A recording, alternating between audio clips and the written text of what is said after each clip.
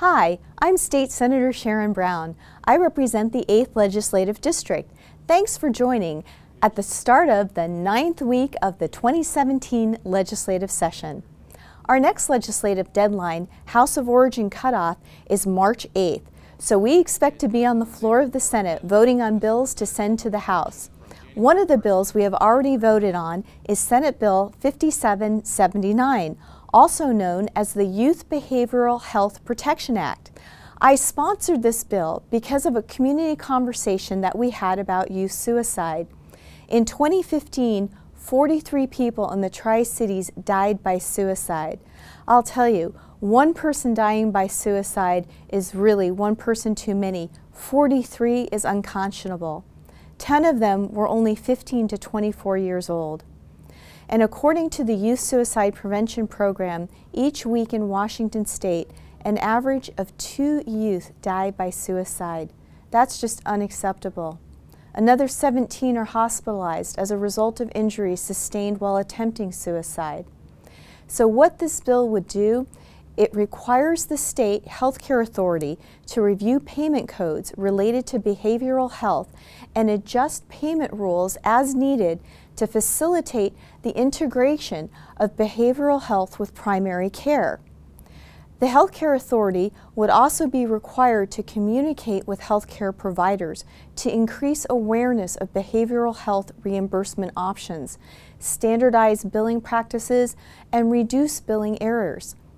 The healthcare authority would provide increased reimbursements for behavioral health services provided to patients in primary care settings.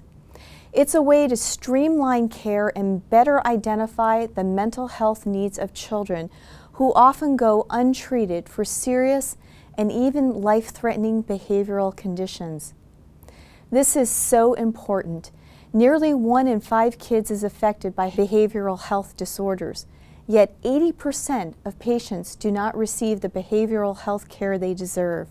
This bill will help kids get the care they need by having integrated behavioral health consultants provide necessary care at times of crisis.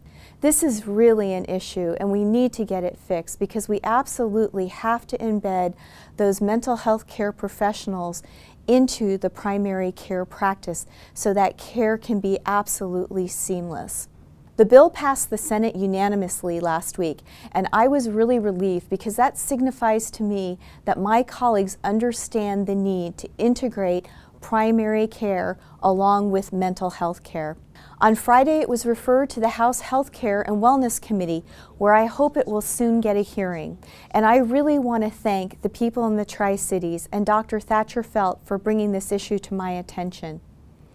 You can follow the action live by watching coverage of the Senate floor on tvw.org. You can also visit my website to learn more about the status of my bills or to sign up for my weekly e-newsletter, Bridges to a Better Government. If you have questions or concerns or just want to say hello and share your thoughts on making state government work better for you, please don't hesitate to contact me here in Olympia. My door is always open and my contact information is on your screen. As always, it's an honor and a privilege to serve the people of the 8th Legislative District. Until next time, I'm your State Senator Sharon Brown. Thanks for watching.